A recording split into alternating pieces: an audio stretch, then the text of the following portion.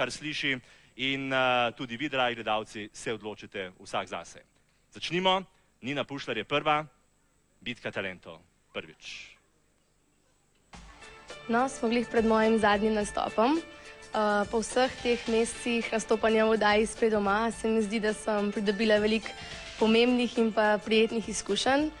V tej priložnosti pa bi se tudi rada zahvalila vsem, ki ste me podpirali in ki ste glasovali za me. Danes vam bom pa zapela pesem New York, New York in upam, da vam bo všeč.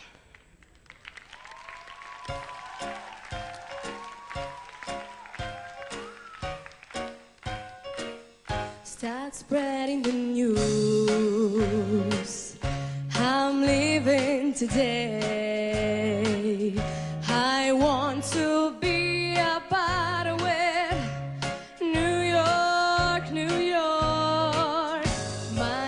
Town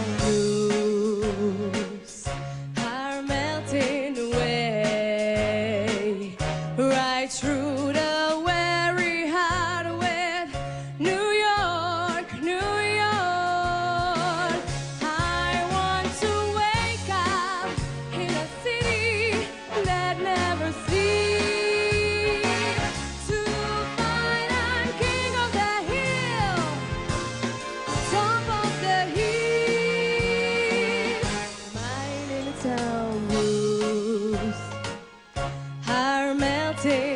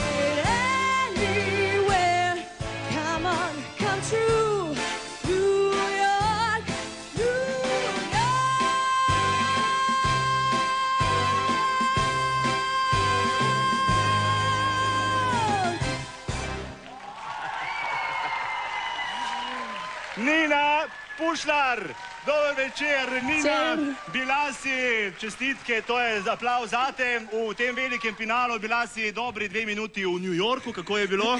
Super. Super je Ja. bilo. No, dobro, upam, da tudi kdaj greš v život, ja, a Ja, ne, in jaz da to ja. preizkusiš. Dobro, hvala za zdaj, se vidimo k malu. To je bila Nina, številka ena.